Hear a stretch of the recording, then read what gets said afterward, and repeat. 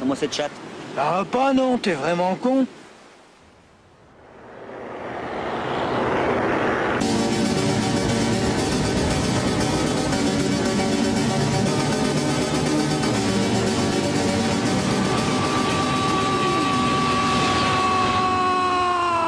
Tu sais, nous, la police, on n'est pas là pour t'embêter. Hein.